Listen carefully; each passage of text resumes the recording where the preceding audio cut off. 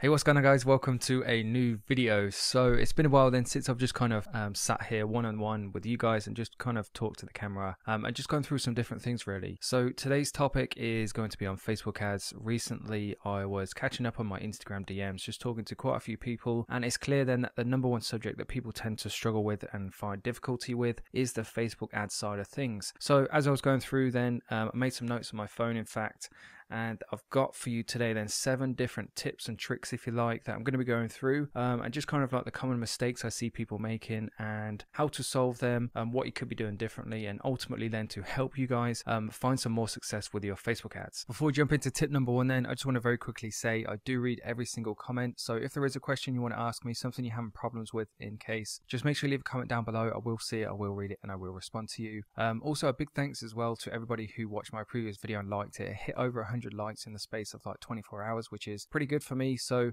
there will be a part two to that video coming very shortly, which is going to be a CBO scaling method.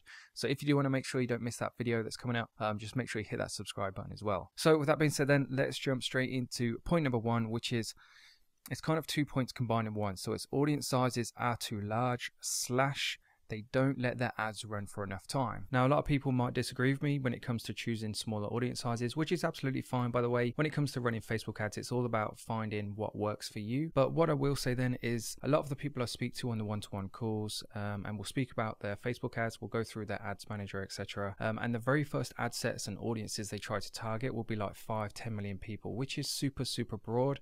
So the first thing I'll get them to do is reduce those audience sizes down to around the kind of 1 million mark, sometimes even even smaller.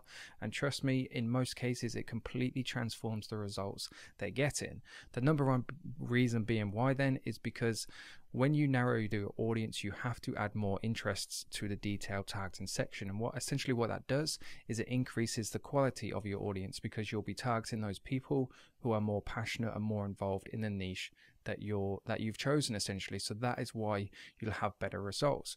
Now when it comes to scaling etc and you've got a seasoned pixel that's matured then going after the bigger audiences by all means is absolutely fine. But if you are one of those people then that has been running facebook ads um, and not been getting good results if you're going after super broad and super large audiences this may be where you're going wrong.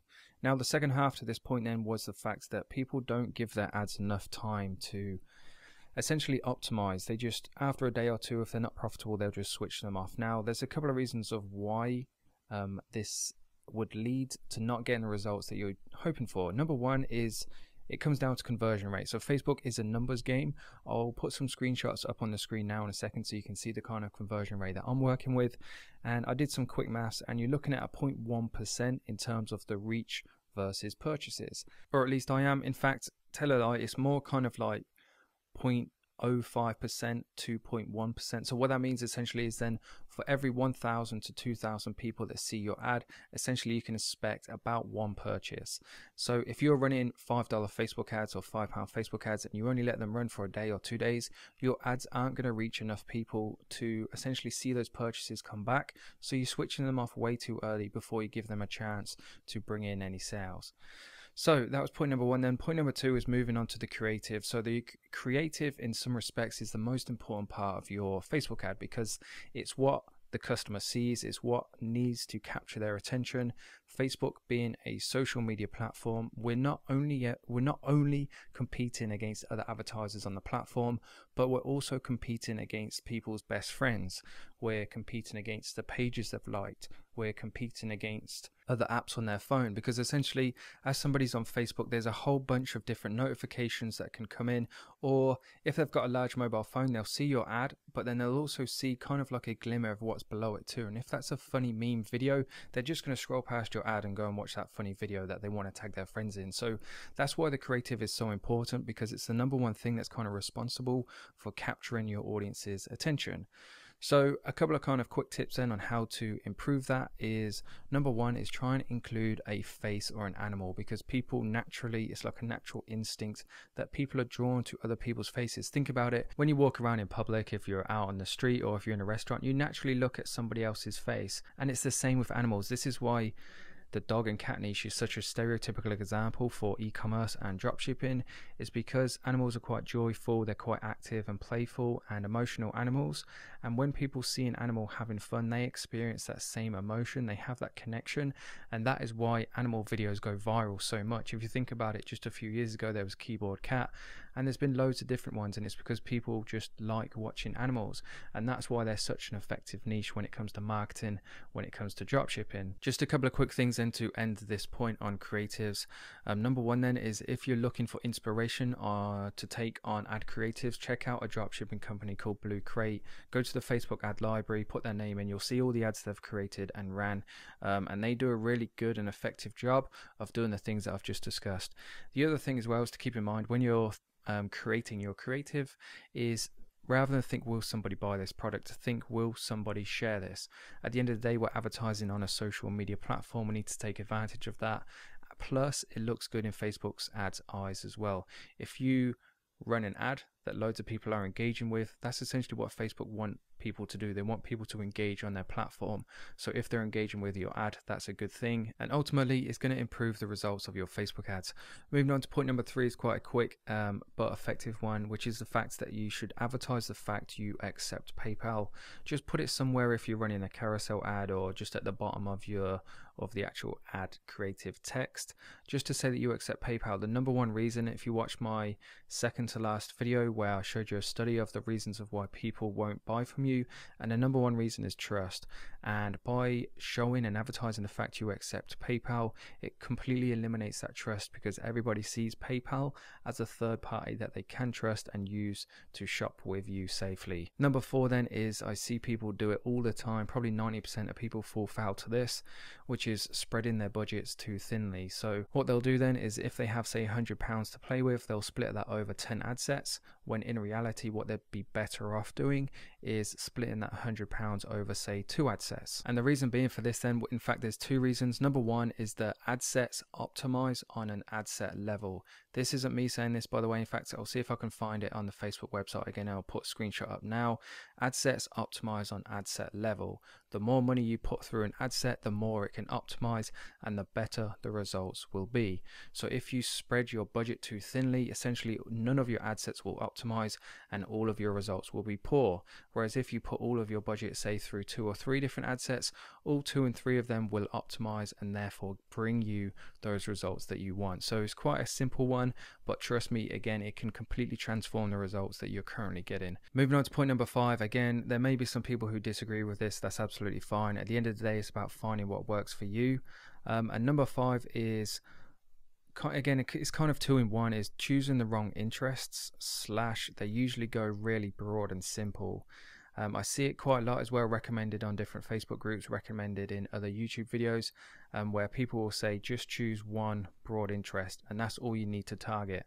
Now, depending on what stage you're at with your pixel, with the ad set, how much you've spent, etc., it may work, it may be absolutely fine, but for the beginner running the very first few ad sets, then the results are going to be very um, hit and miss, to be honest. And the other way to look at it as well is that if it was really that simple just to choose one interest and that's going to be enough to sell your product, then why isn't everybody making hundreds of thousands of pounds on Facebook ads? And it's because choosing the right interests, targeting the right audience is a skill. Now, this isn't to be confused with when you're scaling. If you have a matured pixel, then you can go out and target those super broad interests and super large audiences because essentially your pixel knows who your ideal customer is. But in the beginning, running £5 Facebook ads and you're testing audiences, if you're going for a 10 million audience size, then the results are going to be very hit and miss. If you don't believe me, then you can always go out and test it yourself. My advice on this then is to think along the lines of interests that are related to specific people in your niche. So, for example, then um, going back to the animal niche, if we choose the dog niche, then to simply choose dogs as an interest there's going to be dog owners within that, obviously, but there's also going to be a lot of people in that audience, in that interest, that don't own dogs. So try and think along the lines of interests that are only relatable to dog owners. So, for example, then dog training, that's an interest you can go after. Dog food, um, dog walking, because these are all interests related to people who own dogs. And people who own dogs are going to be the people who are most likely to buy your dog product. Now, if you do want a more detailed video about picking interests, I've done loads and loads in the past. If you comment, if you ask me for the link, I can send you the link. If not, just have a search through um, my Facebook ads playlist. Point number six then is people choosing the wrong countries. Again, at time time again, I see beginners tagged in, say, 10 different countries or even tagged in worldwide.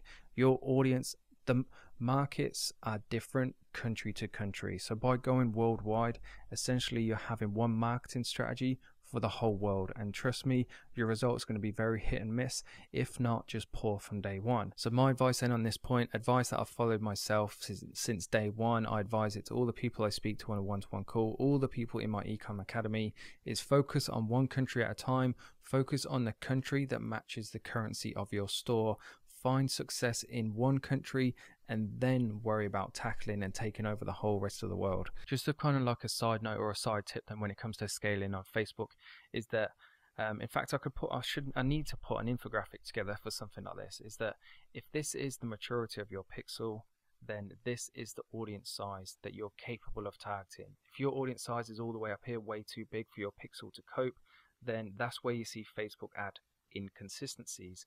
Whereas the more sales that come in, the more matured your pixel becomes, and then the larger audiences you can target. So again, to bring that audience size down and to make your audience higher quality, then just focus on one country at a time. The seventh and final point then, a very important one, is move into lookalike audiences as soon as possible. And the reason being for this then is because the initial ads you run, they'll be cold interest ads. It'll be cold interest traffic that you're targeting Therefore, it's going to be the traffic that converts the least.